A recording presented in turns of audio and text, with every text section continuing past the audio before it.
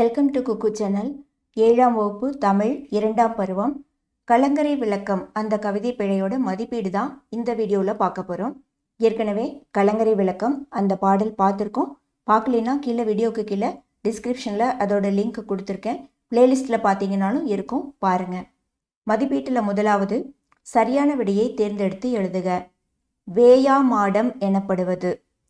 நாலு ஆப்ஷன் கொடுத்துருக்காங்க. வைக்கோலால் வேயப்படுவது சாந்தினால் பூசப்படுவது ஓலையால் வேயப்படுவது துணியால் மூடப்படுவது.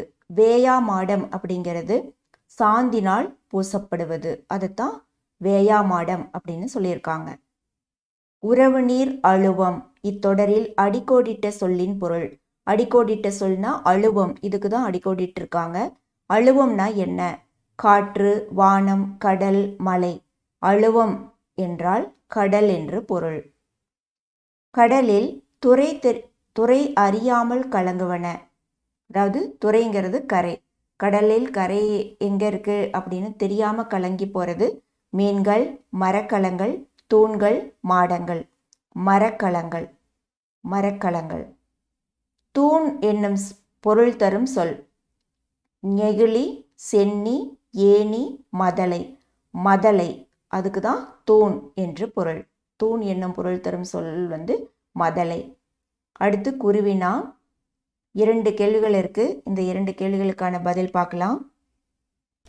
குருவினாவில் முதல் கேள்வி மரக்கலங்களை துறை நோக்கி அழைப்பது எது?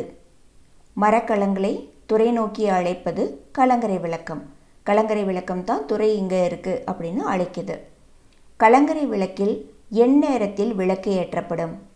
கலங்கரை விளக்கில் இரவு நேரத்தில் விளக்கேற்றப்படும் இரவில் கடலில் வரக்கூடிய மரக்கலங்களுக்கு கரை இங்கே அப்படின்னு தெரிவிக்கிறதுக்காக கலங்கரை விளக்கத்தில் இரவு நேரத்தில் விளக்கேற்றப்படும். அந்த விளக்கு வெளிச்சத்தை பார்த்துட்டு தான் கரை இங்கே இருக்குது அப்படின்னு தெரிஞ்சுட்டு கப்பலில் இருக்கிறவங்க வருவாங்க. அடுத்து சிறுவினா. கலங்கரை விளக்கம் பற்றி பெரும்பானாற்றுப்படை கூறும் கருத்துக்களை எழுதுக. இந்த கேள்விக்கான பதில் பாடப்புத்தகத்தில் இருக்கக்கூடிய பொருளையே நீங்கள் எழுதலாம்.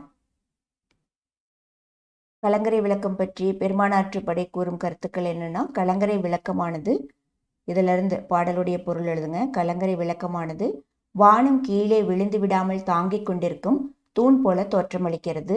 ஏணி கொண்டு ஏற முடியாத உயரத்தை கொண்டி கொண்டிருக்கிறது. வேயப்படாமல் சாந்து பூசப்பட்ட விண்ணை முட்டும் மாடத்தை உடையது.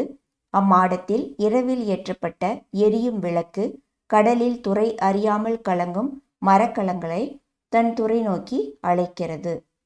இதுதான் கலங்கரை விளக்கு பற்றி பெருமானாற்றுப்படை கூறக்கூடிய கருத்துக்கள். அடுத்து சிந்தனை வினா.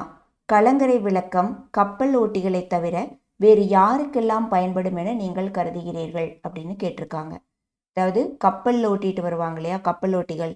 அவங்களுக்கு கரை இந்த இடத்துல இருக்கு அப்படின்னு கலங்கரை விளக்கம் வழிகாட்டுது. அவங்கள தவிர வேறு யாருக்கெல்லாம் அந்த கலங்கரை விளக்கம் பயன்படும்? இது சிந்தனை வினா. இந்த கேள்விக்கான பதில் புக்கில் இருக்காது. நம்ம சிந்திச்சு விடையளிக்கணும். யாருக்கெல்லாம் அது பயன்படக்கூடும் அப்படின்னு யோசிச்சு இந்த கேள்விக்கு பதில் எழுதணும். இந்த கேள்விக்கான பதில் மீனவர்களுக்கு பயன்படும். அதாவது கடலில் போய் மீன் பிடிச்சிட்டு வரக்கூடிய மீனவர்களுக்கு கரை இந்த இடத்துல இருக்குது அப்படின்னு மீனவர்கள் மீன் பிடிச்சிட்டு திரும்பி வரும்போது அவங்களுக்கு வழிகாட்டும். கடல் ஆய்வு செய்பவர்கள். கடலில் ஆய்வு செய்பவங்களுக்கு அது வழிகாட்டும். கடலில் மூழ்கி கடலில் நிறைய ஆராய்ச்சி பண்ணுறவங்க இருக்காங்க ஆய்வு செய்கிறவங்க இருக்காங்க. அவங்களுக்கு கலங்கரை விளக்கம் உதவியாக இருக்கும். கப்பற்படை வீரர்கள் கப்பற்படையில் செல்லக்கூடிய வீரர்களுக்கு கரை இங்கே இருக்குன்னு வழிகாட்டும்.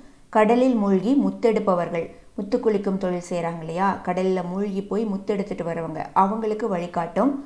கடற்பயணம் சென்று கரை திரும்பும் பயணிகள். கடல் பயணம் போயிட்டு கரைக்கு வரக்கூடிய பயணிகளும் கப்பலில் வரும்போது கரை இங்கே இருக்குது அப்படின்னு தெரிஞ்சுக்கலாம். இவங்க எல்லாருக்கும் கலங்கரை விளக்கம் பயன்படும். இந்த பாடத்தோட மதிப்பீட்டு பகுதி அவ்வளோதான் இந்த வீடியோ பார்த்ததுக்கு ரொம்ப நன்றி. இந்த வீடியோ உங்களுக்கு பிடிச்சிருந்தா லைக் பண்ணுங்கள் கமெண்ட் பண்ணுங்கள் ஷேர் பண்ணுங்கள் தொடர்ந்து வீடியோ பார்க்க சேனலை சப்ஸ்கிரைப் செஞ்சு பெல் பட்டனை அழுத்திக்கோங்க. நன்றி.